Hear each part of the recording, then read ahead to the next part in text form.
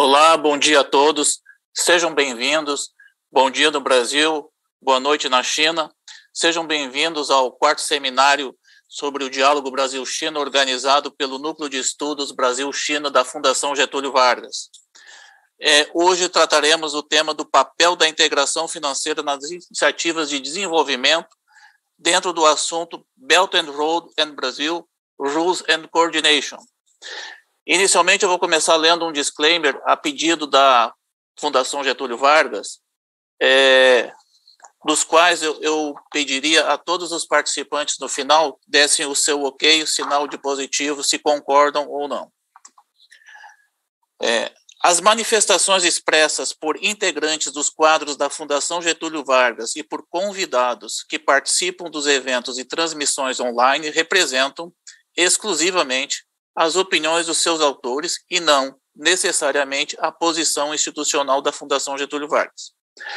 Reiteramos também que todos aqui presentes concordaram em participar desse evento de forma espontânea e, com isso, autorizam o uso do seu nome, seu nome, voz e imagem, além de ceder os direitos autorais patrimoniais relativos à sua exposição para essa transmissão, que ficará disponível posteriormente nos canais oficiais da FGV. Para seguir com essa transmissão, pedimos que se manifeste verbalizando ou sinalizando a sua concordância.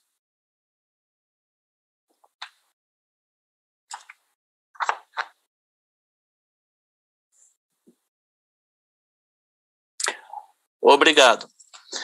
É, o tema de hoje ele é bastante interessante, né? É, relacionado à Roda da Seda, a China até o momento já assinou 206 documentos de cooperação com mais de 172 países e 32 organizações internacionais dentro da iniciativa do Belt and Road Initiative. Né? De 2013 a 2020, o comércio de mercadorias entre esses países cresceu cerca de 350 bilhões de dólares, tendo um comércio acumulado de mais de 9 trilhões no período. É, este projeto ele já começou a ser idealizado em 2013, na primeira vez que Xi Jinping, na, na, na, na primeira vez mencionada por Xi Jinping na sua visita ao Cazaquistão. Além da integração econômica, do multilateralismo, da cooperação entre os países, né, através de paz e cooperação, benefícios mútuos, aprendizagem mútua, abertura e inclusão, ele também é, inclui a integração econômica dentro deste projeto. Importante falar sobre a integração econômica é junto também a integração financeira que nós vamos abordar hoje aqui neste evento.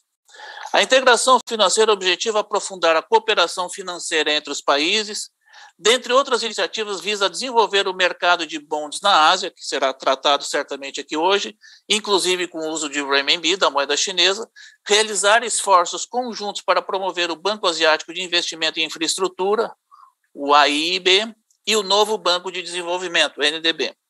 Conduzir negociações para estabelecer a Organização de Cooperação de Xangai, operacionalizar o Fundo da Rota da Seda, fortalecer a cooperação entre a China e a Associação das Nações do Sudeste Asiático, ASEAN, apoiar os esforços de governos, companhias e instituições financeiras de países ao longo da Belt and Road Iniciativa, e fortalecer a cooperação financeira em termos regulatórios, mecanismos eficientes e sistema de administração é, entre os países.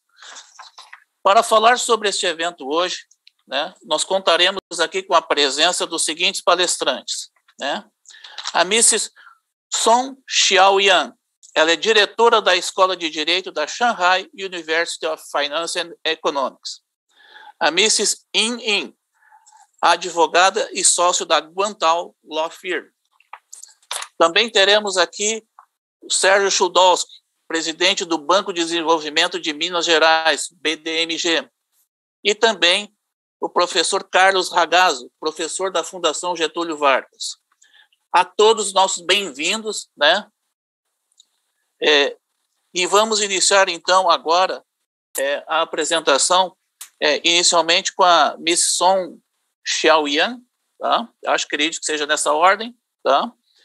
É, Miss Song, é, the floor is yours.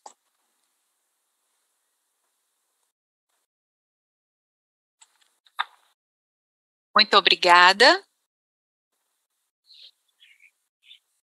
E muito obrigada pelo trabalho, por organizar esse evento. É uma ótima oportunidade para estarmos aqui, mesmo sendo online. Realmente é uma oportunidade excelente para compartilhar informações. Então, esse assunto o que vamos discutir algumas questões sobre cooperação jurídica financeira. Bom,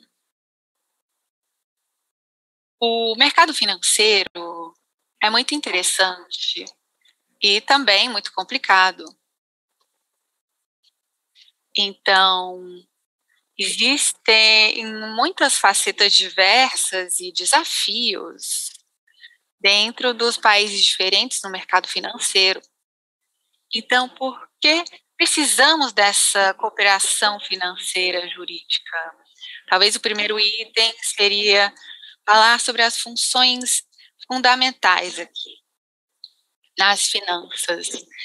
Eu entendo que essas funções incluem, por exemplo, criar essa ponte entre a demanda da moeda e a oferta. Alguém tem dinheiro, alguém precisa de dinheiro, mas como vamos canalizar essa oferta e essa demanda? Essa é uma função da finança. E quando alguém tem dinheiro, como lidar com esse dinheiro? Talvez comércio, talvez investimento. E essa seria a segunda função essencial: facilitar o comércio e investimento. E o terceiro item aqui seria cobrir esses riscos transacionais. Ou seja, por exemplo, na China, temos a moeda local e temos que pensar no câmbio, essas são considerações em relação à moeda local, ao câmbio, os riscos, os juros também são um risco. E como podemos cooperar ou colaborar? Existem muitos países e o mercado financeiro entre esses países é, é tão diferente, então como podemos cooperar? Eu acho que existem três canais. Primeiro, pela cooperação entre os bancos centrais, a cooperação entre as agências regulatórias financeiras. E, terceiro item, pesquisa jurídica legal e comunicação entre os serviços jurídicos e colaboração. A cooperação entre os bancos centrais. Bom, eu acho que, por enquanto, eu não tenho certeza se o Brasil e a China já estão se ajudando nesse tipo de acordo, esse tipo de acordo bilateral de, tro de trocas. Eu acho que é um canal importante para apoiar e que deve ser apoiado pelo Banco Central. Esse tipo de acordo, as moedas soberanas significam apoio para a facilidade de pagamento das moedas soberanas através da cooperação do Banco Central. Esses países diferentes podem fazer muitas coisas, por exemplo, combinar informações e lidar com crises de, da taxa de câmbio. Porque nesse momento muitos países têm um câmbio flutuante. Então, temos o mercado de câmbio, temos a precificação que é flutuante. Então, talvez essa é uma forma dos bancos centrais de cada país cooperar para fazer uma intervenção combinada. E o terceiro item é que o Banco Central poderia cooperar para prevenir, mitigar e solucionar riscos sistêmicos. Então, muitos países, quando enfrentam essas crises com relação ao câmbio, enfrentam isso dessa forma, porque os riscos sistêmicos em um país muitas vezes estão relacionados com uma crise econômica. Então, como lidamos com esse risco? Essa cooperação dos bancos centrais é uma possível resolução. Perdão.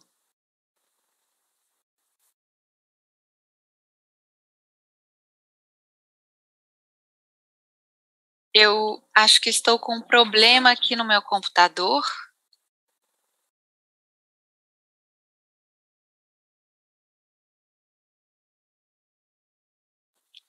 Bom, mesmo as moedas soberanas e esse acordo de trocas bilateral entre dois países para facilitar o pagamento, bom, temos aqui esse propósito de evitar esses riscos envolvidos com o câmbio, mas ainda temos que enfrentar muitas dificuldades. Por exemplo, a China já pensou em alguns acordos, mas a implementação é uma questão, porque ela impõe desafios. E essa intervenção combinada, quando enfrentamos uma crise de câmbio, existem alguns desafios, por exemplo, a proporção de responsabilidade entre os países. Nós sabemos que para fazer uma intervenção no mercado, temos que realmente pensar no balanço entre o, a liberdade de mercado e segurança econômica. Então, quando os países escolhem uma cooperação, quem tem a maior responsabilidade quem carrega o maior peso nessa cooperação e como isso será feito. E a prevenção, mitigação e resolução de riscos sistêmicos. Existe a necessidade por essa cooperação, ou seja, compartilhamento de dados, resoluções conjuntas. Então, como podemos compartilhar esses dados? Nós sabemos que em muitos países essa proteção da privacidade de dados é muito importante. Então, como vamos equilibrar essa cooperação que precisamos e a proteção desses dados? Essa é a primeira questão. A cooperação dos bancos centrais. Segundo canal aqui, a cooperação das agências regulatórias financeiras. Então, lidando com essas crises, muitos países viram a necessidade de organizar esse tipo de cooperação. Então, se o país aprova um acordo, por exemplo, esse princípio de aprovação dupla para melhorar a comunicação, esse é um canal possível. E a segunda questão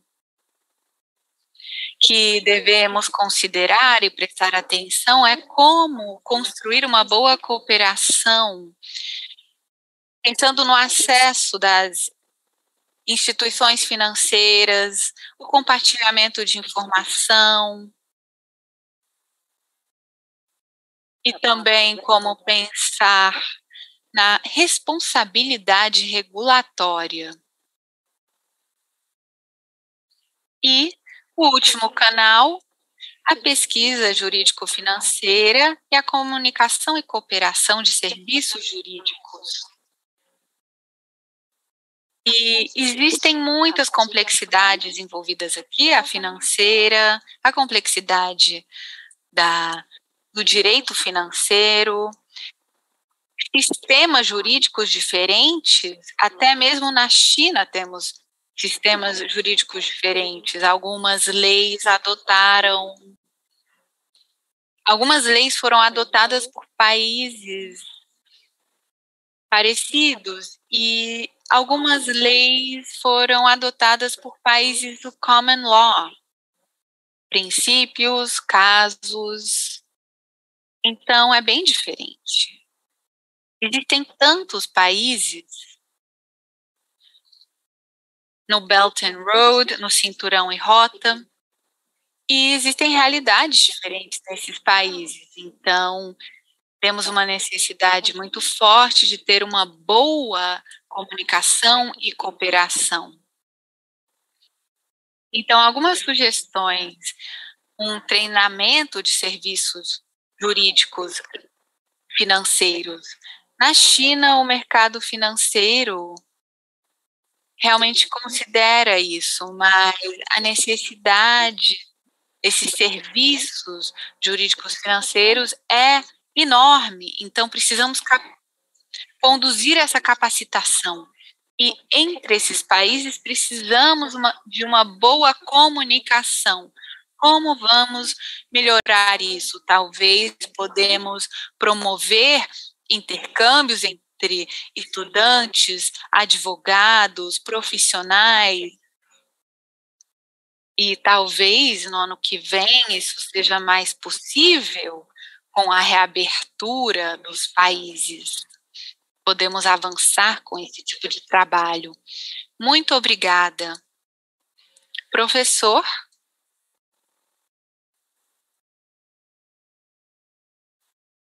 É. Thank you very much, Miss Song. Muito obrigado. For, for your Senhora Song, parabéns pela sua apresentação. Obrigada.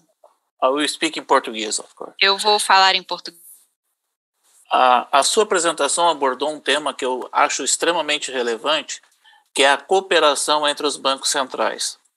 É, o Brasil assinou com a China um acordo bilateral de swap de moedas em 2013 e este acordo tinha validade de três anos, ele durou até 2016.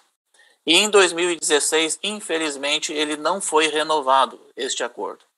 Então, além de nós não termos este acordo de, de swaps como a China tem com mais de 40 países no mundo, nós ainda sofremos aqui também o fato de nós não termos um centro financeiro offshore da moeda chinesa, do renminbi. Né? E isso faz com que hoje as transações com a China sejam feitas somente em uma opção, que é o que é o dólar. Nós não temos a opção aqui, como outros países, transacionar na moeda chinesa. É, sairia muito caro, teríamos custos de transação muito caro. Né?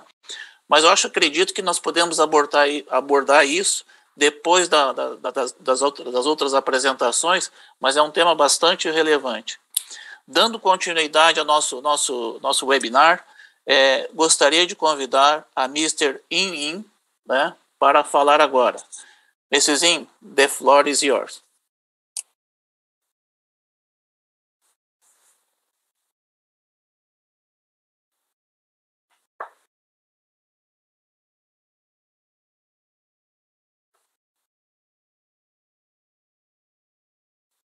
Olá, muito obrigada pela apresentação. O assunto da minha fala é promover a integração financeira com a securitização internacional de ativos. Eu trabalho em uma das 50 principais 50 principais escritórios de advocacia na China envolvido com a iniciativa do Cinturão e Rota no Brasil. Estou feliz de estar aqui falando sobre isso neste webinário. Então vamos agora à página 2. Esse é o conteúdo dos slides. Então, vamos falar sobre as características internacionais desses ativos. Então, o mercado chinês tem dois componentes principais, o mercado de títulos chinês. Tem o mercado de títulos entre bancos e o de câmbio. E depois temos os tipos de de securitização de ativos e produtos. E temos três componentes cá abaixo. Temos a securitização de ativos de crédito, securitização de ativos de empreendimentos e aqueles apoiados. E a securitização de ativos internacional é definida na lei chinesa, mas quando temos fatores internacionais e nos componentes da securitização, isso pode se referir a várias situações diferentes.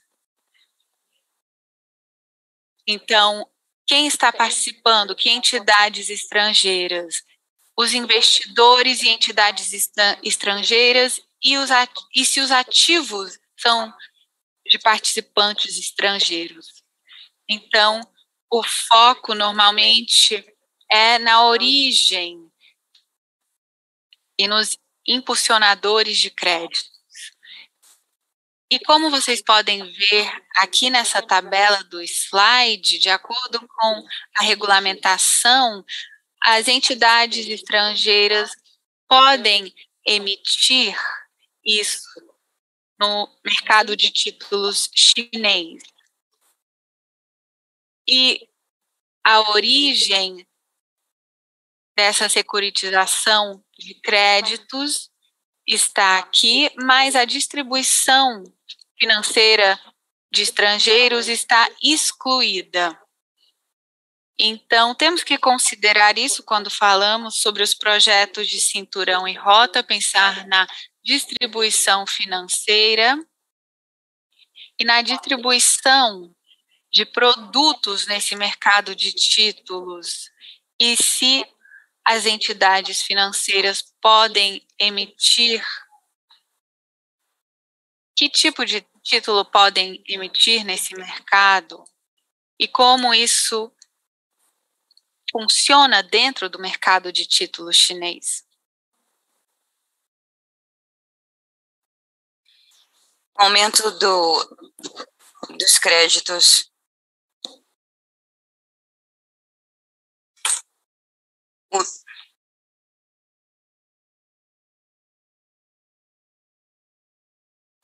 Então, temos que considerar o posicionamento dessa entidade estrangeira, qual é a pontuação, autoridade corporativa, etc. O advogado chinês participará disso dependendo da opinião legal do advogado estrangeiro. E com relação aos documentos jurídicos envolvidos e as repercussões legais, temos que pensar nos compromissos que foram feitos e como eles são reconhecidos de forma diferente em jurisdições diferentes. Então, é importante considerar esses fatores, os documentos jurídicos, e o direito chinês será o que vai ser priorizado nessa situação.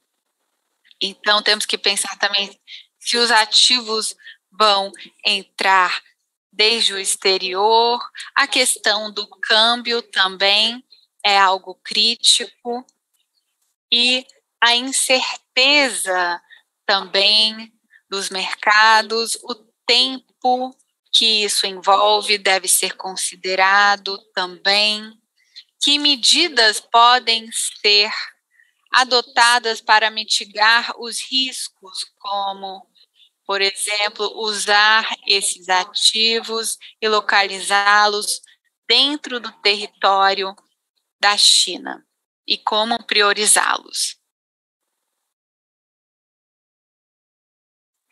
Essa tabela nesse slide é uma comparação entre o que é necessário para. Bom, isso reflete que não há nenhuma diferença substancial nos requerimentos para esses ativos entre a securitização dos ativos uh, empresariais e outros.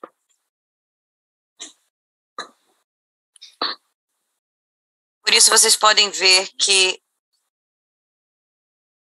o cash flow é estável nessas transações. Na perspectiva legal, as transações entre relações contratuais. Bom, há três elementos que são necessários nessa relação contratual. As partes do contrato, o objetivo, o conteúdo, que significa, o que significa a, essa relação jurídica. para arrecadar fundos e para transferir os ativos subjacentes e a consideração dessa transferência para a ser paga com capital investido pelos investidores, o foco, o foco da atenção, o que é para, para lidar com o, a dívida, a validade a transferência para contas e etc. Se os ativos subjacentes têm uma quantidade e isso for menos diversificado, isso é importante para a securitização do, dos projetos de ativos. Caso o devedor seja uma entidade estrangeira, advogados estrangeiros devem ser uh, contratados e expressar suas, opini suas opiniões, já que os advogados chineses não têm essa uh, autorização de expressar suas opiniões nesse caso. Quando se trata da validade do contrato, nesse ponto, a, o, a lei do governo entra em ação nesse caso. Ou na, na falta desse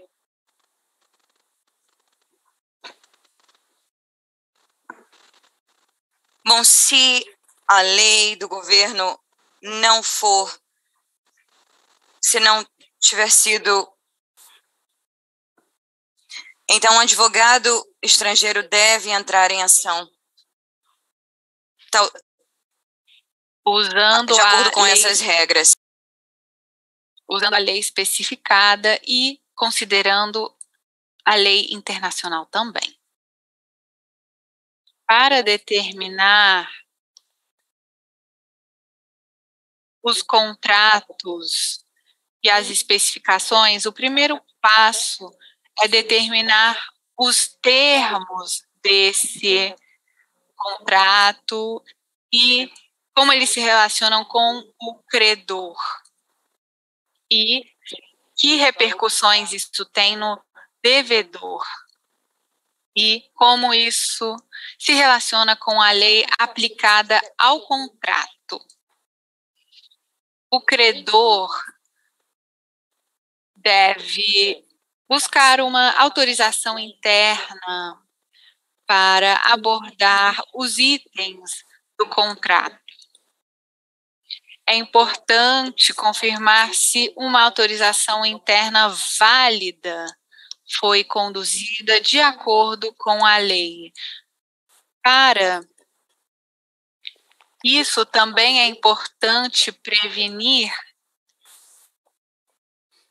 qualquer problema possível com o credor porque isso pode impor problemas para esse contrato. Por exemplo, os recebíveis dentro da lei chinês, chinesa têm as suas especificações. Mas isso não devia ter um efeito de conflitos. Agora,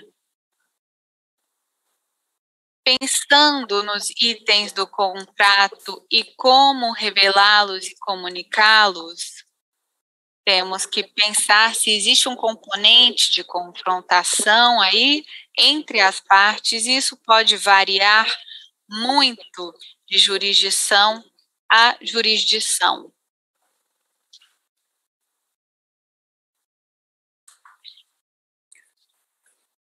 E quando falamos sobre a transferência dessas reivindicações contratuais, existem fatores diferentes a serem pensados previamente para não afetar essa transação e os investidores.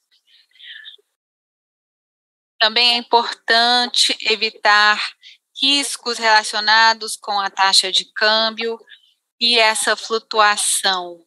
É importante pensar na moeda, dessa recuperação de ativos e dessa securitização. É importante pensar nisso no contrato.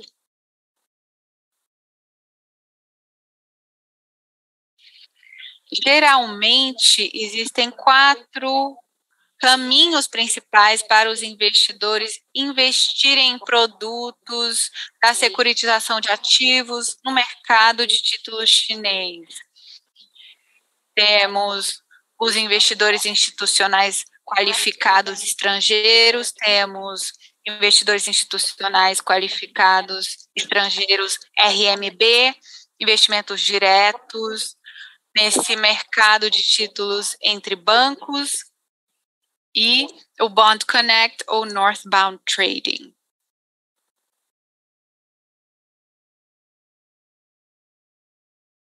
Bom, eu gostaria de compartilhar com vocês essas, essas foram as informações que eu queria compartilhar com vocês. Muito obrigada, um ótimo dia a todos.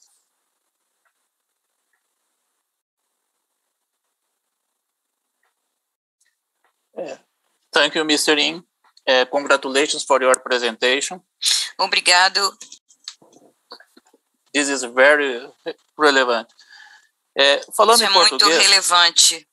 Eu acho que algumas coisas que foram abordadas nessa apresentação são, são importantes para o Brasil, é, porque aqui ainda há um certo desconhecimento em relação à emissão de bonds é, dentro da China, tanto mainland quanto offshore, né?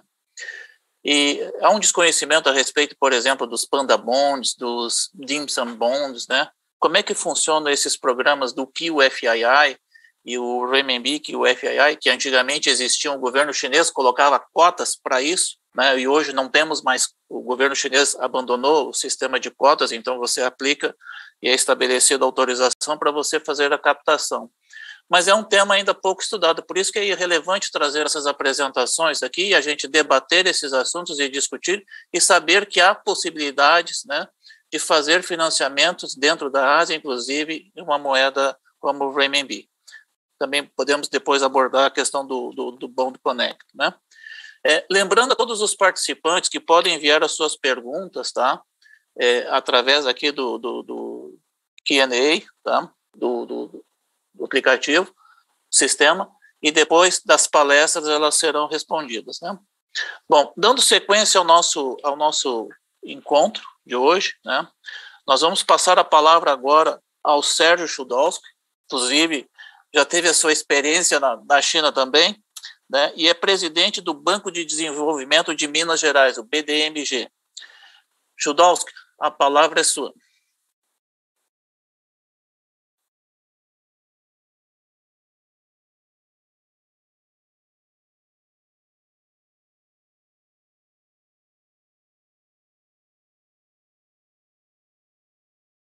Isso, é. acredito que a organização do evento nós estamos fazendo em português em função de ter uma, uma intérprete, mas se você se sentir mais confortável em fazer em inglês, fique à vontade.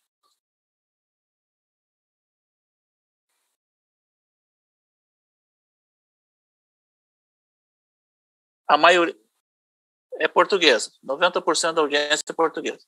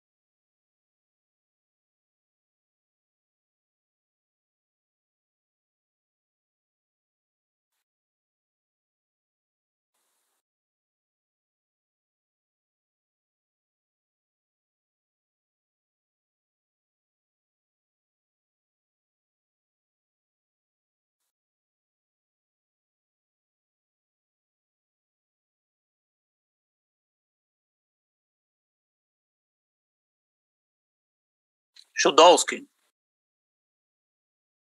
desculpe interrompê-lo, mas a organização do evento pediu que você habilite a tradução para é, o canal português embaixo do seu do seu do sua apresentação, tá?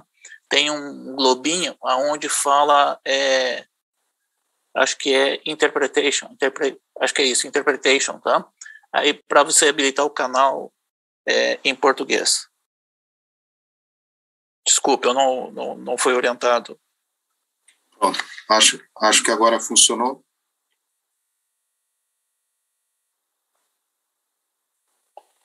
Acho que agora acho que é... funcionou. É.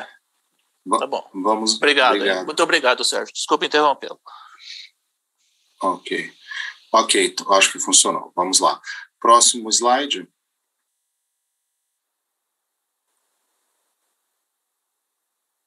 Então, falando aqui do contexto e o papel dos bancos de desenvolvimento, né, uh, no, no próximo slide a gente, então, uh, uh, fazendo uma, uma retrospectiva, né, nós vivemos um momento de grande mudança do ponto de vista do, do da retomada econômica pós-Covid, né, o tema da sustentabilidade está no coração desse debate, né, no que o Fórum Econômico Mundial denominou de o grande recomeço, the Great Reset, né, e a ideia de que o sistema econômico como um todo deve ser reexaminado, aprofundado e antecipado, né, essa esse movimento de antecipação dessa revisão do sistema como um todo é, acelerada pela pandemia. Né? Uh, há uma discussão sobre o foco da retomada econômica, né, sobretudo uh, uh, na, no investimento em infraestruturas resilientes, sustentáveis e inclusivas, e os princípios ASG, o ISD, da governança socioambiental, no coração da, do trabalho das estratégias tanto das empresas quanto dos governos, né, no que pode ser conhecido, chamado também como shareholder capitalism, uh, conforme a professora Mariana Mazzucato uh, escreveu em 2020.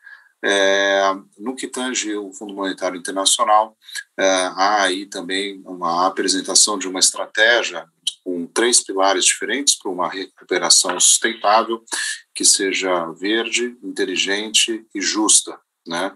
É, e aí o tema de redução de subsídios para combustíveis fósseis e a transição para uma economia de baixo carbono é um tema chave, né? mas necessita de investimentos de, da ordem de 2,3 trilhões de dólares para os próximos 10 anos. Né?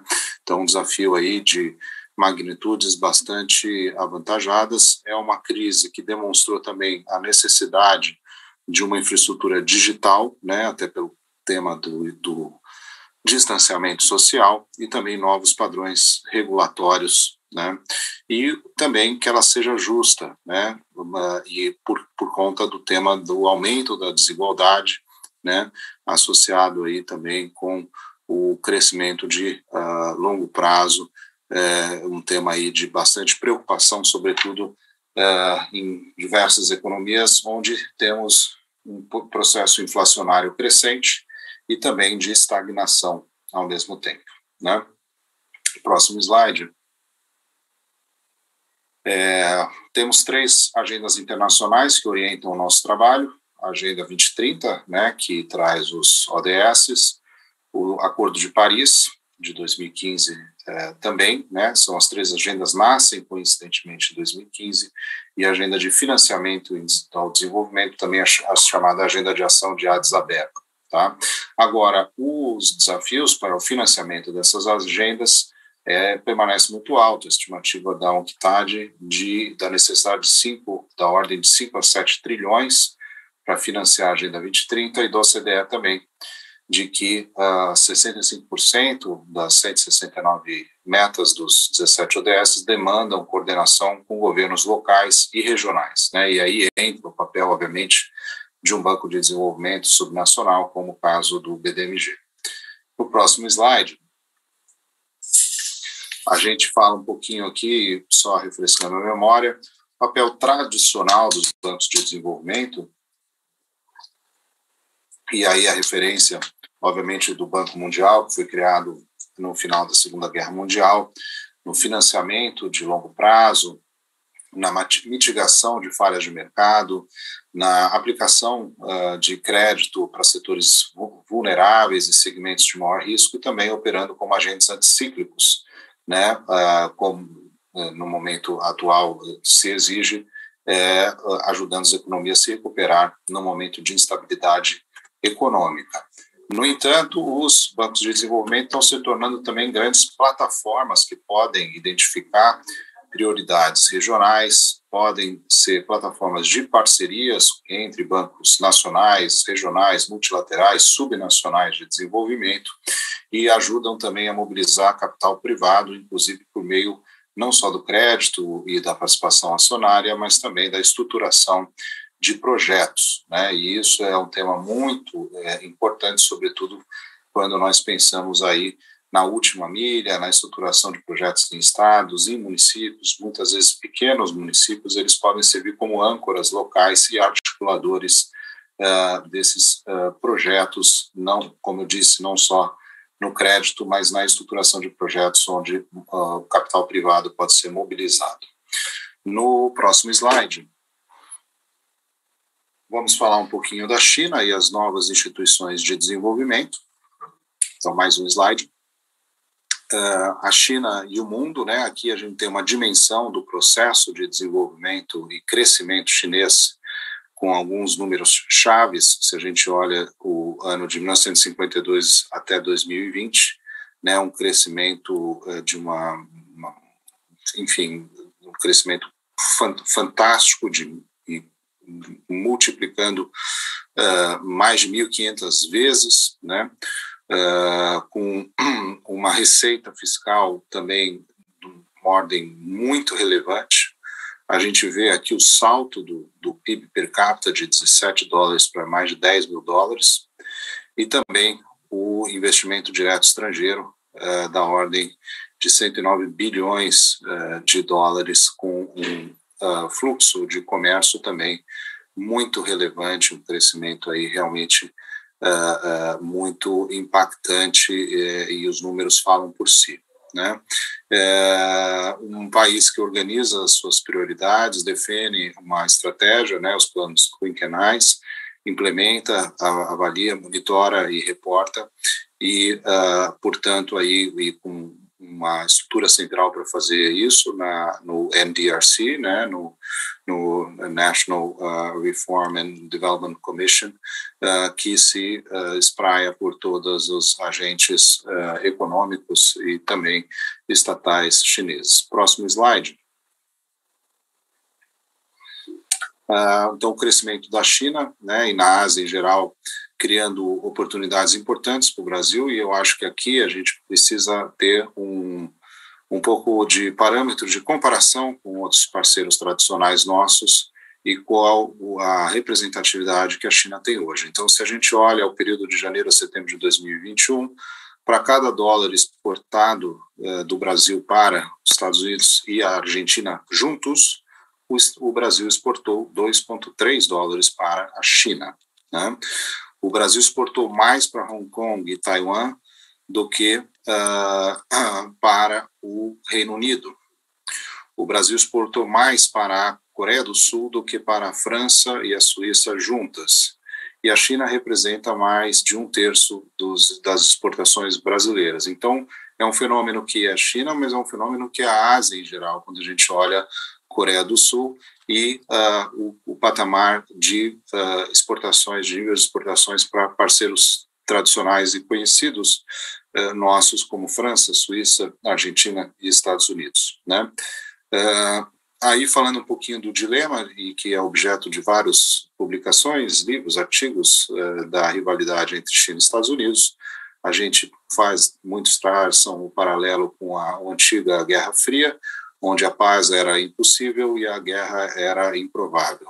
E na relação China-Estados Unidos, onde a paz é absolutamente possível e a guerra ainda mais improvável. Né? E uh, existe uma, uma interdependência econômica muito forte, né? existe até o processo que fala do decoupling mas ainda muito difícil, com uma interdependência, basta olhar uh, os vários segmentos e, a, e o grande uh, estoque de investimentos e presença uh, das multinacionais ocidentais na China, e uma relação muito sólida que traz oportunidades para todos. Portanto, há um risco aí muito grande nessa, nesse tipo de situação, né? ainda que hajam fricções e, obviamente, uma disputa e competição por pela liderança global. Próximo slide. A gente vê aí, uh, então, o futuro da China e do Brasil, o do desenvolvimento da, da China, né, que uh, consegue trazer um modelo de crescimento onde formação de formação bruta de capital fixo é muito relevante, né? Uh, tendências aí do século 21 com o tema dos aspectos ambientais, a crise energética, né? A gente vê na última década uh, como a escala e o investimento na energia renovável puderam transformar a China e, na verdade, o mundo, inclusive barateando uh, as placas solares e trazendo novas tecnologias mais eficientes. Hoje, a China também representa 72% né, do, da demanda é, aí de, de commodities, de hard commodities, especialmente o minério de ferro, é, muito importante para Minas Gerais, por exemplo, e também é, o tema demográfico, com o crescimento populacional chegando a zero é, na projeção para 2026, é, depois aí de, de, enfim, de décadas aí de, de uma política é, bastante restritiva na, na, na parte na, de uh, natalidade. Né? O Brasil também é um dos países mais eficientes no uso da terra e da produção agrícola, portanto, é, vários fatores em que as dinâmicas de um lado e de outro são é, complementares e produzem resultados aí bastante interessantes. O fluxo de comércio entre os dois países ultrapassou um trilhão de dólares entre 97 e 2020, e a China também se tornou o, o, enfim, a, a, grande destinação das exportações uh, e, e, também de origem de importações do Brasil. Né? Uh, isso tem um impacto, obviamente, nos produtos agrícolas e também lembrar que na primeira década do século 21, né, do ano 2000 a 2010, a Estados Unidos e a Argentina ainda eram principais parceiros comerciais. Portanto, é uma mudança de patamar recente, né? E a gente deve sempre fazer esse registro para entender a trajetória que estamos percorrendo. No próximo slide, nós temos aqui o, a carteira de crédito do New Development Bank, né, o Banco dos BRICS, o banco que foi uh, que nasceu em 2014, quando o assunto, o, o, acordo foi assinado em Fortaleza, passou a operar em 2015 com a sede em Xangai, recentemente uh, está, está aí de mudança para sua sede permanente em, em Xangai e uh, já um banco que emite dívida, inclusive por meio de green bonds no mercado interno chinês, já recebeu o seu rating das agências internacionais uh, e também da agência japonesa. É, aumentou bastante sua carteira no Brasil. A gente tem aqui um perfil dessa carteira bastante é, importante, né? E, uh, e, e, uma carteira aí com projetos já em volume de desembolso relevante e também fazendo o registro de que o banco começou a fazer o seu processo de admissão de novos membros com a entrada do, uh, de três países, Uruguai, Emirados Árabes e Bangladesh. O próximo slide. Uh, o outro banco que nasceu também passou a operar em 2015, o Brasil também é fundador, né? Tanto no Banco dos BRICS, onde o Brasil hoje tem a presidência, na pessoa do Marcos Troirro, quanto uh, no Banco Asiático de Investimento e Infraestrutura, que também nasce como Banco Regional de Desenvolvimento em 2015. Uh, há uma grande adesão uh, de mais de 100 países, inclusive todos da União Europeia. o banco começa a ter um papel mais global, né, é, inclusive é, recentemente com o apoio da Associação Brasileira de Desenvolvimento, a ratificação e a integralização do capital, portanto, é um banco que está operacional no Brasil a partir é, de agora, né, desde algumas semanas é, a, a, atrás, e um banco onde o Brasil tem uma participação bem uh, menos significativa, mas ainda assim é membro, mesmo assim pode ter operações muito relevantes uh, é, no Brasil e, portanto, o Brasil está na nova arquitetura financeira, é, onde os dois novos bancos da família de os oito grandes bancos multilaterais de desenvolvimento estão na China, é, um em Pequim, no caso do, do AIB, né, o Banco Asiático de Investimento em Infraestrutura, e o novo Banco de Desenvolvimento em Xangai. Né? Portanto, essa é uma nova realidade é, que se é, impõe e de novas instituições multilaterais de grande peso sendo sediadas na China no que é chamada então a nova arquitetura financeira internacional, né? E o Brasil tendo aí um papel de destaque como membro fundador nas duas uh, instituições e também com executivos na cúpula de ambas as instituições, no caso do EIB, com um diretor uh, geral que também é o, uh, o General Counsel e com o presidente no caso do NDB. Próximo slide.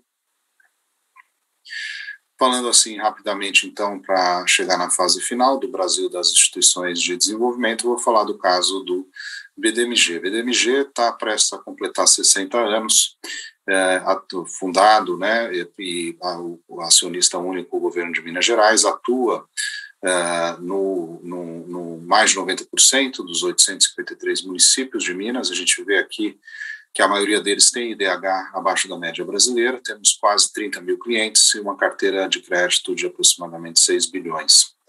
Próximo slide. Aqui temos a nossa, a nossa um, estratégia de cinco anos, a ideia de ter o, o, objetivo de ser uma referência de banco de desenvolvimento local, focado em impacto, e uh, atuando aí uh, para maximizar o impacto de desenvolvimento, sendo especialista em Minas Gerais, mas ao mesmo tempo observar com responsabilidade a sustentabilidade financeira da instituição. Próximo slide. Nós temos um, um, compromisso com as agendas globais, né? E aí falando obviamente do, da agenda 2030 com os ODS, a agenda da, do financiamento climático, né, ligada ao Acordo de Paris, e também do financiamento ao desenvolvimento. E nesse sentido, nós fazemos parcerias nacionais, internacionais, trazendo melhores práticas e mobilizando recursos por meio de linhas de crédito, emissão de títulos sustentáveis eh, e outras uh, na alocação do recurso uh, na plataforma digital. Então, utilizando os vários instrumentos uh, aí adequados para um banco do século 21. Próximo slide. Aqui eu dou um panorama de algumas das nossas ações, a referência também de uma das parcerias muito relevante, que é com o Banco Europeu de Investimento, o Banco de Desenvolvimento da União Europeia, sediado em Luxemburgo. Nós fizemos uma linha de financiamento climático de 100 milhões de euros em 2019, estamos renovando agora, na semana que vem, é, e aqui a gente tem aqui a fotinho da assinatura do contrato em 2019 com a vice-presidente, e alguns dos números relacionados à redução de emissão de gás carbônico, de geração de energia renovável, e aí com destaque para o norte de Minas, que é uma das regiões menos desenvolvidas do estado de Minas Gerais, né, região essa que é a parte da área da Sudene, né, onde está o semiárido brasileiro. Próximo slide é muito importante a nossa atuação nas pequenas empresas, inclusive pela plataforma digital, uma atuação relevante também no momento de pandemia, por meio de vários programas solidários e emergenciais, é, inclusive para segmentos específicos como o turismo, é, mas não só ele, a saúde e também gender finance, né? então uh, financiamento ligado ao tema de gênero para empresas onde as mulheres tenham pelo menos 50% do capital. No próximo slide,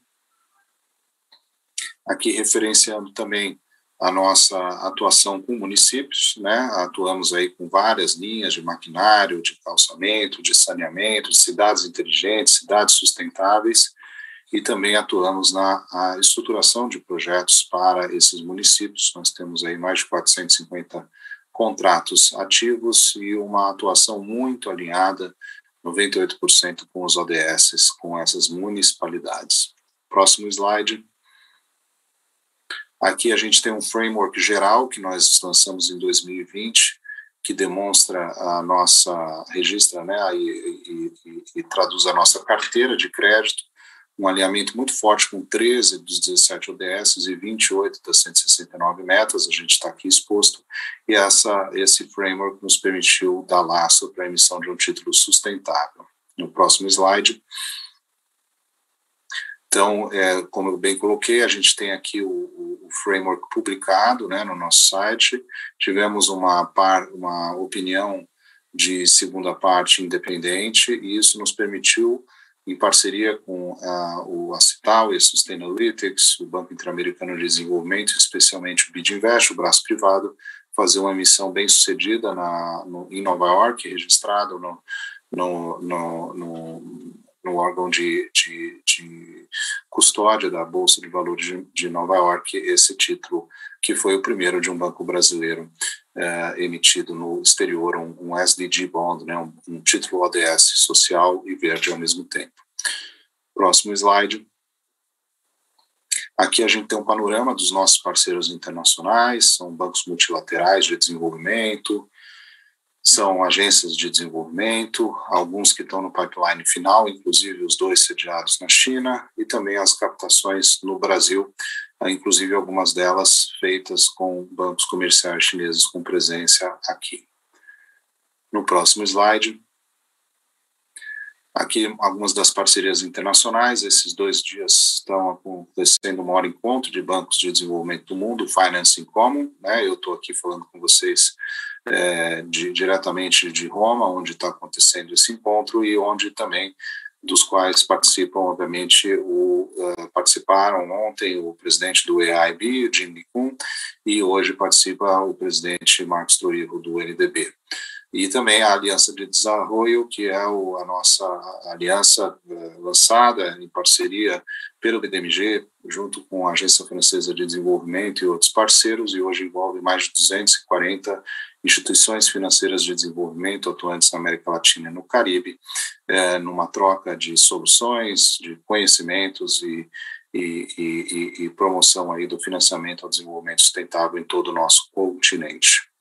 No próximo slide, Aqui tem uma referência de alguns outros eventos que nós participamos nesses três anos de gestão, inclusive com o BRICS Summit, um pré-BRICS Summit que nós realizamos aí em novembro de 2019, quando tivemos o BRICS Summit no Brasil, com a participação aí de vários parceiros, especialmente da China, com a presença do vice-presidente do EIB de estratégia, Joaquim von Amsberg, e vários outros eventos também internacionais de grande relevância. Próximo slide. Então, o tema da, da integração financeira é um tema muito importante, né?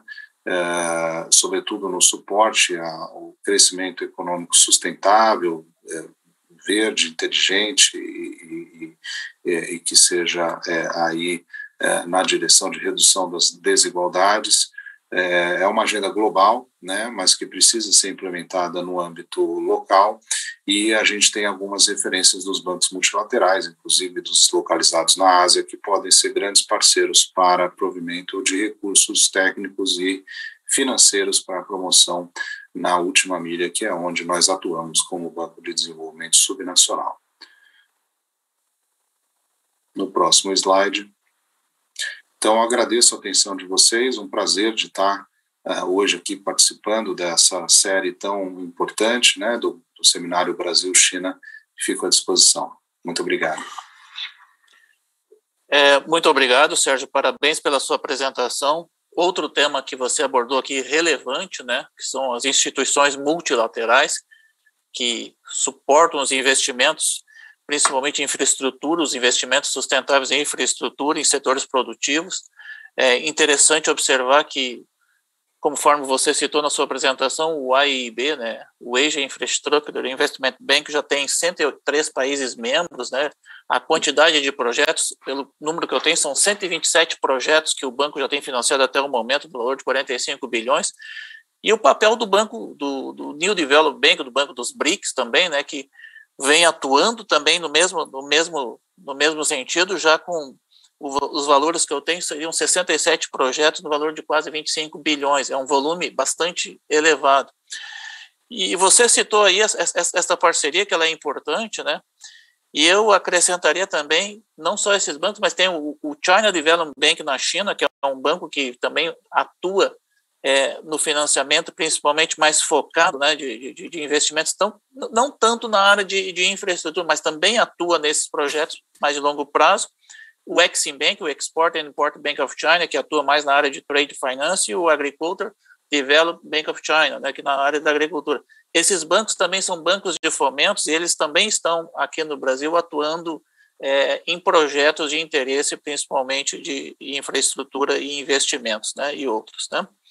Mas muito obrigado. Nós vamos voltar isso aí e deixar a todos é, novamente à vontade para enviar as suas perguntas, né? Para depois, no final do, do, das apresentações, a gente submeter aos nossos palestrantes, né? Agora, eu gostaria de convidar o professor Carlos Ragazzo, né? É, professor da Fundação Getúlio Vargas, para fazer a sua apresentação. É, seja bem-vindo, professor.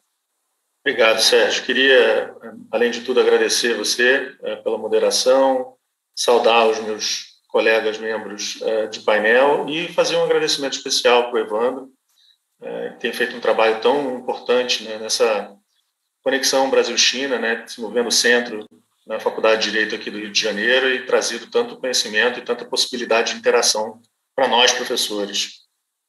Eu, eu, eu vi com atenção as primeiras apresentações, eu acho que depois de falar é, sobre crédito e investimento, tem um terceiro ciclo que eu acho que seria importante para a gente poder falar e poder discutir um pouco sobre essa relação é, Brasil-China, que é o fluxo de pagamentos internacionais. É, e isso tem sido uma discussão muito relevante, porque hoje o fluxo, isso não é só Brasil-China, né? isso tem a ver com qualquer perfil de pagamento internacional. Ele tem uma série de barreiras. Né? Então, enviar dinheiro para alguém ou para alguma empresa no exterior, em geral, é um processo demorado. Né? Você tem pouca clareza uh, sobre quais são as taxas envolvidas, qual a taxa de câmbio que vai ser praticada, quais são os custos envolvidos. Então, cada instituição participante do mercado pode cobrar do cliente tarifas e tem liberdade para definir sua própria tarifa de câmbio. Então, você tem muita dificuldade e incerteza a respeito desse procedimento. Hoje, o que funciona, na grande maioria das vezes, é um sistema de mensageria que as pessoas conhecem como SWIFT, né? Que conecta grande parte das instituições financeiras no mundo. É, e tem uma avaliação, o Banco Mundial tem feito estudos, né, que os bancos têm cobrado mais caro, enquanto carteiras digitais têm cobrado um pouco mais barato, é, embora isso tenha sido e continue a ser um grande gargalo. Né? E agora, com essa dinâmica de crescimento de e-commerce internacional né, e uma comunidade internacional também muito grande de imigrantes, né, você tem mais de, de 250 milhões de pessoas ao redor do mundo, você tem uma demanda muito forte para alternativas que vão ser mais baratas, né, mais eficientes, mais rápidas para esses pagamentos internacionais. Aqui no Brasil, é, essa demanda também existe, né, você tem praticamente 2 milhões de brasileiros que vivem no exterior e até um, um número talvez crescente, é, enquanto você tem mais de um milhão de migrantes vivendo em território brasileiro. Então, você tem remessas de brasileiros no exterior para o Brasil, que estão em torno de 2%, 0,2% do PIB. Não é, não é muito grande como outros países, né? tem talvez um dos grandes exemplos aqui na América Latina, El Salvador, mas é algo que está começando a crescer. Então, você vê uma agenda do G20 né, começando a, a transformar o aumento de pagamentos transfronteiriços numa prioridade. Você tem essa lógica né, de você conseguir desenvolver modelos e sistemas de pagamentos internacionais que vão ser mais rápidos, mais baratos, e por conta dessa rapidez e dessa redução de custo, vai ser mais inclusivo é, e vai gerar mais benefícios para os cidadãos que estão em economias do mundo inteiro e vai, em alguma medida, apoiar crescimento econômico e comércio internacional. Esses pagamentos transfronteiriços eles são mais difíceis. Né? Não é, não é, a gente não está discutindo uma questão que é rápida e fácil de resolver. Né? Eles são mais complexos porque os pagamentos envolvem múltiplos agentes, né? fusos horários, jurisdições, regulações distintas, uma série de regras específicas que precisam ser, em alguma medida, compatibilizada e harmonizada. E o projeto que está sendo feito no Brasil para poder lidar com isso, observando o movimento que está começando a ser gerado no resto do mundo, são das moedas é, oficiais é, digitais. É uma ideia, e tenho visto declarações do Banco Central nessa direção, é uma ideia de você começar a fazer as CBDCs, nessas né, moedas centrais digitais, oficiais, é, oferecer uma possibilidade de você começar a desenvolver um sistema a partir do zero, né, uma tábula rasa para que você possa eliminar essas fricções entre os arranjos internacionais. E aí, diretamente a partir dessa dinâmica, né, esse pagamento ele vem acompanhado também de uma, regula uma regulamentação que vai, de uma certa medida, estabelecer uma espécie de contrato digital onde você vai trazer transparência e vai ter maior clareza, necessariamente, a partir dos custos que estão envolvidos nesse processo de pagamento. Quais são os grandes desafios com relação a isso? Você precisa fazer uma harmonização tecnológica, né, e aí, é, por harmonização tecnológica, entenda logo interoperabilidade, e uma harmonização regulatória entre esses países participantes. É, é uma ideia de você conseguir harmonizar esses formatos diferentes para criar um arranjo internacional de moedas digitais oficiais. Né? A ideia é você começar a criar esse movimento do, das moedas digitais oficiais. O Brasil está nesse processo. Ah, até um tempo atrás a discussão ainda era muito incipiente, mas começou a crescer no último ano e pegou velocidade agora em 2021. Então já está no radar do Banco Central do Brasil fazer esse movimento e aí começar a ver as orientações do BIS para poder começar a criar sistemas interligados, assim interligar CBDCs, nessas moedas digitais oficiais, com regras nacionais conectadas diretamente as infraestruturas que vão fazer essa compensação de pagamentos entre moedas digitais distintas de países distintos. Então, assim, é...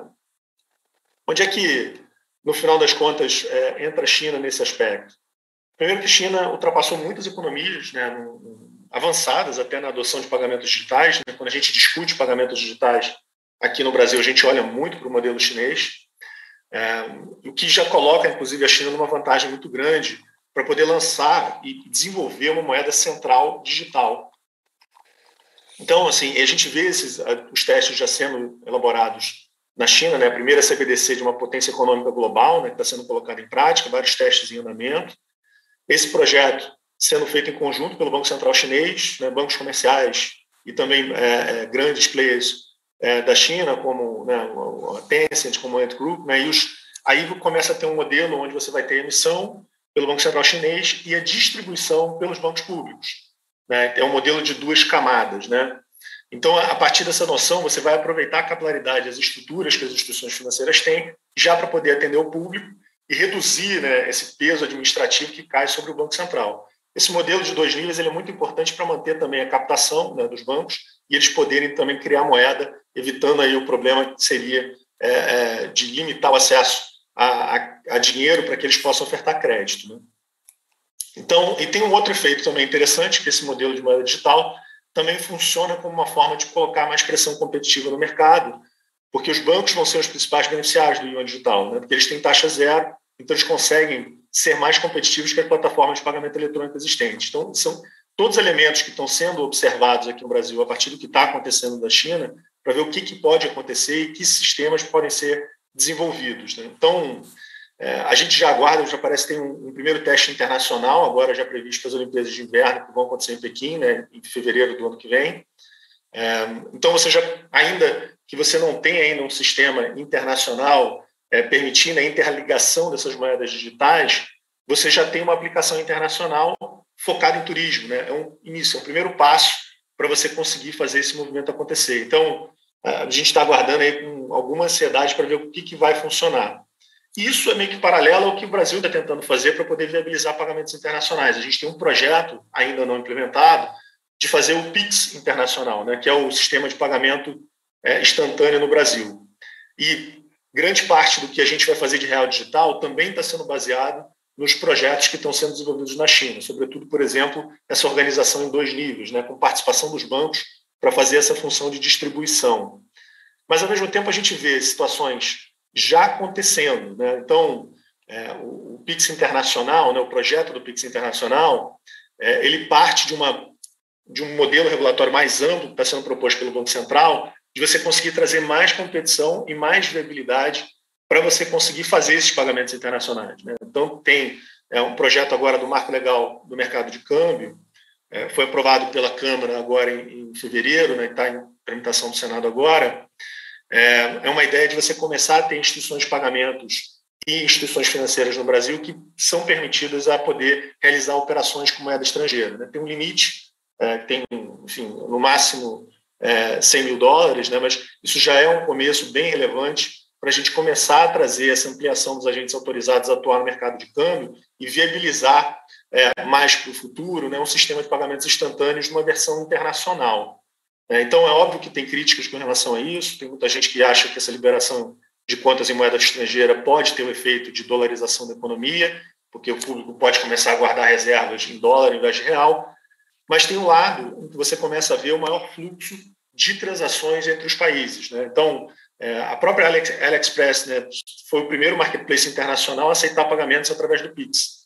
É, e óbvio, talvez essa experiência que, que o mercado chinês já tem é, para fazer pagamentos por dispositivos mobile já tenha levado né, um, maior, um maior conhecimento, uma maior facilidade para começar a viabilizar pagamentos vindo do Brasil. E o sistema de logística está acompanhando, né, porque a empresa garante o envio de encomendas internacionais. É óbvio que isso é, ainda é o começo, né? ainda é um fluxo inicial que a gente pode ter de discussão, mas o interessante é você ver, inclusive, projetos mais amplos de plataformas múltiplas de moedas oficiais digitais internacionais. Então, você tem o projeto MCBDC Bridge, né?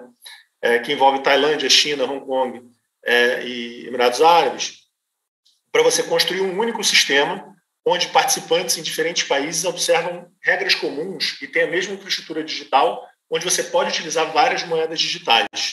A lógica por trás disso é você começar a fazer esse grande fluxo de trocas entre países e um sistema de pagamento que, de alguma maneira, esteja integrado e observe um arranjo internacional para que funcione nesses modelos diferentes e moedas diferentes. Acho que a gente caminha para um mundo onde os custos para poder fazer esse e-commerce internacional vão reduzir bastante e aí comércio entre Brasil e China pode chegar num outro patamar, pode ganhar um volume muito mais amplo imprimir muito mais competição e, e, modificar assim, o ciclo que a gente tem de negócios hoje em dia no Brasil. Então, tem é, o, o, que eu vi das apresentações anteriores, muito interessante de crédito, né, muito interessante de investimento, mas tem esse outro lado também de pagamentos, de fluxo de pagamentos, que tem um caminho bem interessante para ser desenvolvido, e Brasil e China certamente vão ser uma parceria muito interessante para conseguir construir esse arranjo internacional. Obrigado, Sérgio. É, eu que agradeço, professor Carlos. Acho o tema bastante relevante. É, eu, particularmente, tenho interesse nesse assunto sobre as, as, as moedas digitais. É, há muita hoje, na minha avaliação, uma confusão no mercado o que, que é criptoativo, o que, que é cryptocurrency, né? o que, que é uma criptomoeda. O que nós temos visto, na minha avaliação até agora, são criptoativos, né? não são criptomoedas. E eu acho que esse tema ele é relevante, ele é pouco é, ainda. O Banco Central está é, fazendo alguns é, webinars sobre isso, né, mas ele é pouco debatido, né? Ele é muito pouco debatido porque essa, essa realmente vai trazer uma, uma, uma potencial disrupção nos, nos sistemas a partir do momento que você tem uma moeda que ela não está mais na conta bancária, ela pode estar em, em qualquer é, é, ferramenta, pode ser o seu celular, pode ser um software, pode ser um hardware, né? E isso vai, logicamente, provocar maior bancarização, inclusão digital, bancarização nisso, né? Além do projeto Embridge, também tem o projeto Dumbar, né, que inclui a Austrália, a Malásia, Singapura e a África do Sul, que está sendo estudado. E eu acho que foi muito bom você mencionar nisso, porque a China ela está vindo com o yuan digital, né? Já está lançando, já fez testes, mais de 5 bilhões, mais de 70 milhões de transações, né, 5 bilhões, equivalente a 5 bilhões de dólares a movimentação, e é um projeto que está vindo aí com toda a infraestrutura e um conceito é, muito interessante do, do blockchain, né, da, da, embora sejam finanças é, centralizadas, mas um conceito de blockchain que eu acho que é muito importante, que junto com o 5G vai trazer uma, uma uma, uma picture, né, uma, uma, uma, um framework novo para talvez para o nosso sistema financeiro. Acho, acho bastante, bastante relevante isso se junta aí, né? Mas muito obrigado, professor. Parabéns pela, pela sua apresentação. Nós estaríamos agora a começar uma sessão de perguntas, né? Perguntas aos, aos nossos palestrantes, tá? É, e eu gostaria de perguntar para vocês o seguinte: é, fica, fica ressaltado aqui, né? dentro desse projeto Rota da Seda, as diversas oportunidades é, que existem entre Brasil e China, não só no sentido dos projetos ligados a, ao comércio, né, que hoje o Brasil exporta basicamente 80% commodities para a China, né? mas também a projetos de infraestrutura. E há um projeto de interesse, que eu acho que seria de interesse do Brasil, que seria a ligação do Oceano Atlântico ao Pacífico através de uma ferrovia. Isso, inclusive, já, já foi desenhado no passado, inclusive com o próprio China Development Bank fazendo esse, fazendo esse estudo. Então, eu gostaria de saber a opinião de vocês o seguinte: nós temos hoje na América Latina 19 países que já aderiram ao projeto Rota da Seda. Né? É, e neste caso do Brasil, né, quais são os, os caminhos que vocês poderiam sugerir ao Brasil, olhando esse projeto e olhando a parceria com os bancos multilaterais, né, tanto de ponto de vista do Brasil quanto do ponto de vista da China também, né, participação dos nossos palestrantes da China, como engajar mais o Brasil dentro desses projetos. Né? É, eu vou deixar vocês à vontade para responderem. Quem gosta de, de iniciar, por favor, sinta-se à vontade.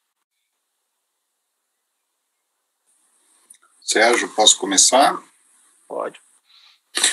Maravilha. Bom, Sérgio, você tem uma experiência enorme é, é, com China, né? Todos nós que estamos envolvidos nesse trabalho que pudemos morar e trabalhar com a China é, conhecemos, né, e uma, uma experiência muito diversa, tanto na, na presença trabalho seu lá e posteriormente no investimento direto estrangeiro aqui.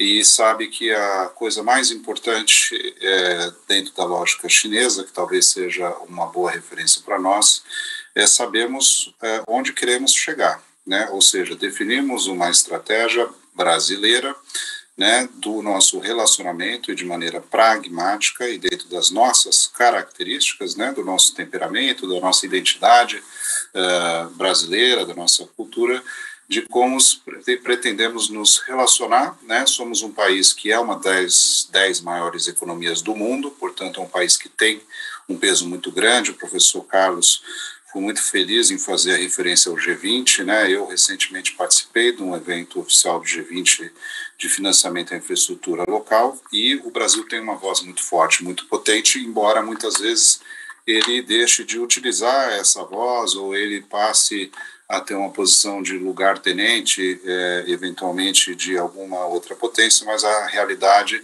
é que ele deve e tem a possibilidade de se relacionar de uma maneira muito consistente. E no âmbito da China, além das relações bilaterais é, bastante é, é, proveitosas, ele também se insere na, no âmbito dos BRICS. Os BRICS são uma realidade muito relevante, né, também conhecido como os Golden BRICS, né, no, do, pelos, pelos, uh, é, pelos parceiros chineses, e essa é uma realidade que se materializa, no, obviamente, é, no Banco dos BRICS, mas em uma, uma miríade de temas diferentes na educação, é, nas finanças, no, na cooperação entre uma série de outras instituições, e aí eu falo as centenas mesmo. Né? Hoje a gente pode dizer que essas cooperações já ocorrem às centenas.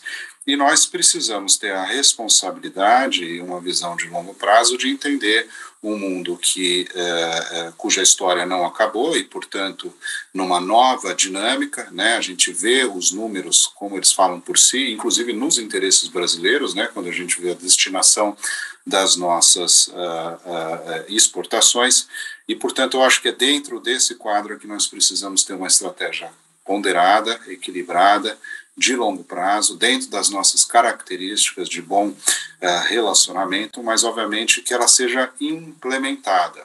Se isso uh, uh, insere numa relação de diálogo do cinturão e de uma rota, e que até instituições que o Brasil participa já estão inseridas, como é o caso do Banco dos BRICS, participa do MOU, onde estão os, os grandes bancos multilaterais de desenvolvimento. Eu mesmo fui o representante do banco durante alguns anos nessas uh, reuniões, mas há outras oportunidades, inclusive para empresas brasileiras estarem uh, presentes. Eu acho que isso pode ser uma coisa feita de maneira pragmática, mas, sobretudo e além de tudo, temos uma visão nossa de como vamos nos inserir de maneira equilibrada e que seja proveitosa para o Brasil e, como sempre, se possível, numa relação ganha-ganha com os parceiros chineses, parceiros que nós admiramos e parceiros de longo prazo para o Brasil.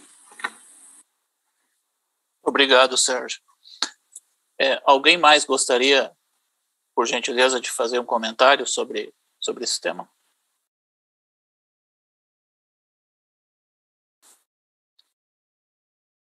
Bom, eu gostaria de, de perguntar a, a, a Mrs. Song e a Mrs. In, né? É, vocês apresentam, fizeram uma apresentação muito importante, mostrando já uma certa profundidade o mercado que existe na China de oportunidades pra, para as empresas, né, para as empresas que desejam participar desse projeto. Né. É, por incrível que pareça, aqui no Brasil ainda há um certo desconhecimento de como funciona o mercado na China. É, e é interessante falar sobre isso porque, por exemplo, é um dado que, que chama a atenção, e você colocou na sua apresentação, é, vocês colocaram, né, tanto Missão quanto Missim, né, o mercado interbancário de bondes na China em 2019, ele atingiu o equivalente a 6,9 trilhões de renminbi, ou seja, quase mais de um trilhão, 1,1 trilhão de dólares. Né? Só o mercado interbancário de bonds em 2019. Né? Se somarmos o total de bonds emitidos na China, de acordo com o People's Bank of China, dados de 2019, o mercado chegaria a mais de 100 trilhões de renminbi, o equivalente hoje a 14,5 trilhões de dólares. Né? Então, é um mercado extremamente robusto e gigante. Nas, nas, nas suas avaliações, né, eu gostaria de fazer a seguinte pergunta. É, esses projetos aqui no Brasil, é, é, o projeto Roda da Seda, ele bastante conhecido, mas ele não é difundido, muito difundido. É, o que vocês acham, na avaliação de vocês, que a China poderia oferecer ao Brasil hoje, além da parceria comercial que nós temos, né, onde o Brasil, a China é o maior parceiro comercial do Brasil, principalmente na importação de commodities, é, o que vocês, na avaliação de vocês, entendendo esse mercado, o que, que a China poderia agregar mais ainda, né, através dessas parcerias? Eu, particularmente, eu entendo que a cooperação financeira é um primeiro dos principais passos para isso, mas eu gostaria de escutar as vossas opiniões sobre, sobre esse assunto, uma visão da China. Por favor, quem gostaria, Mr. Song, Mr. In, quem inicia, por gentileza?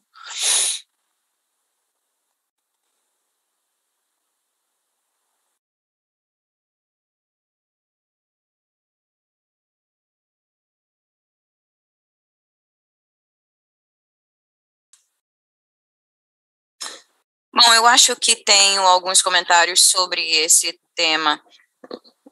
O desenvolvimento da China, da, da interbancário, o mercado interbancário, está no processo de desenvolvimento e esperamos que seja aberto cada vez mais. Portanto, podemos esperar uma abertura maior e consideramos o Brasil um excelente lugar para uh, arrecadação de fundos. Por exemplo, comentando, comentando sobre o processo de desenvolvimento do, do, do mercado de ações há uma maneira de fazer, de conduzir essa relação para o investidor estrangeiro e de investir no mercado de ações. Bom, se o mercado pode ser mais aberto para investidores estrangeiros, ou se eles têm a oportunidade de, de investir nesse tipo de mercado Claramente, esse mercado espera-se que ele cresça mais. E isso pode ajudar as empresas envolvidas para aumentar os fundos para arrecadação de fundos. E, na verdade, o, o mercado de ações chinês, como eu mencionei, o ABM está aberto para instituições financeiras para investimentos. Então, eu creio que esse mercado de ações eh, interbancário é um bom mercado para empresas. Na, na, Belton, na iniciativa Belt and Road, por exemplo, para facilitar seus projetos. Obrigada. Som.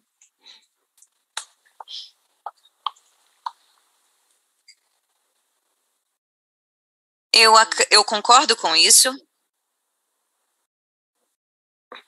Outro comentário é que o, o, o mercado chinês está abrindo, então. E, claro, alguns mercados financeiros ainda não estão abertos para investidores estrangeiros, como, por exemplo, o de segurança, securitização. estamos trabalhando no investimento, nessas relações com investidores atualmente. Claro, há maneiras que podemos trabalhar juntos para trabalhar em projetos de offshore, mercado de offshore. Algumas empresas chinesas também encontram oportunidades no mercado offshore.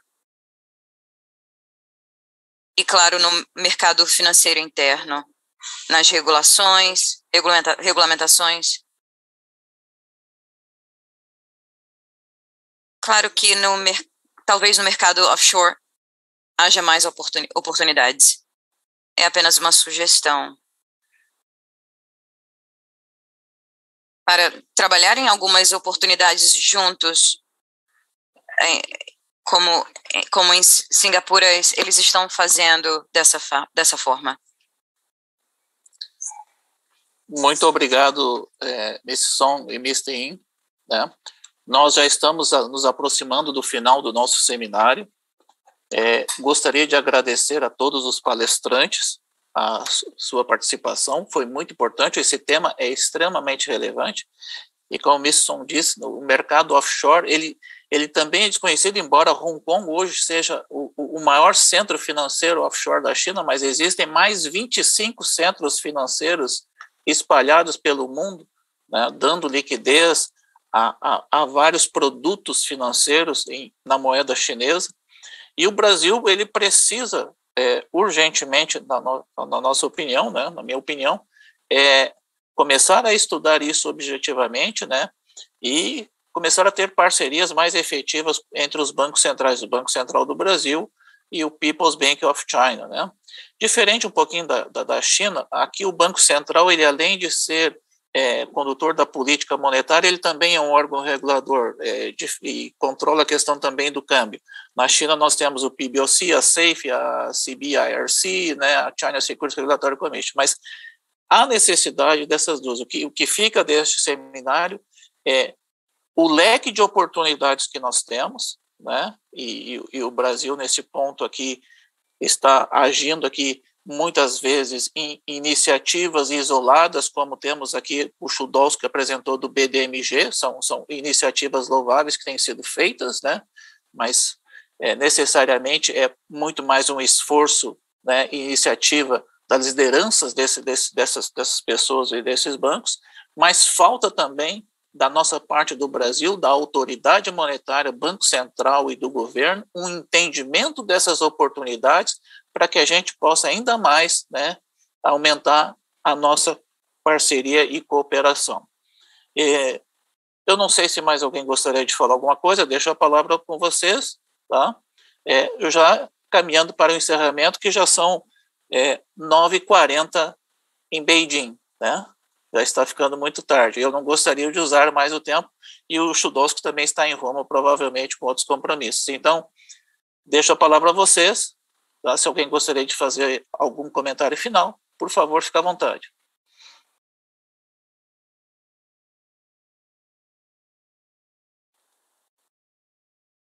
Bom, se não houver comentários finais, então eu agradeço a todos, tá?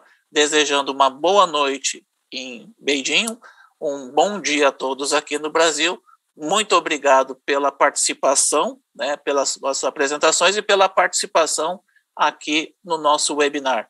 Muito obrigado a todos, tá? Tenham todos um bom dia e uma boa noite.